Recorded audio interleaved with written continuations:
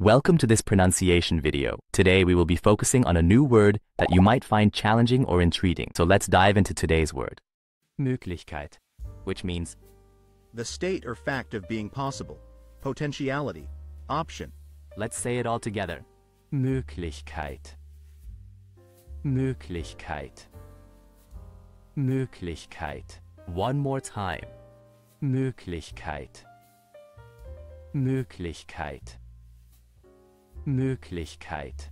Thank you for joining us on this adventure in pronunciation. Remember, language is a journey, not a destination. Keep exploring, experimenting, and expanding your linguistic horizons. We'll see you next time.